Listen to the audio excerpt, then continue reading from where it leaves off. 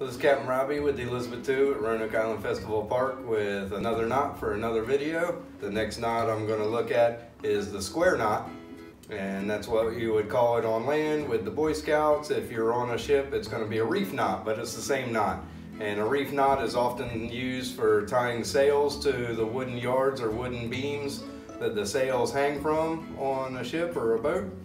So the reef knot uh, again, I've got my trusty half white, half blue rope for showing this. So the reef knot, you're going to take the two bitter ends, because this is going to be two lines tied together or the two ends of one line tied together uh, to wrap around and tie a sail to the ship. I'm going to start with my left on top of my right and just flip it under like I'm starting my shoes to tie my shoes. Then I'm going to switch and do right over left. As long as you switch it, you can go left over right, then right over left, or reverse that. As long as it's switched each time, the way you know you've got your square knot or your reef knot correct is the two ends on each side come out nice and clean, straight alongside each other, nice and straight.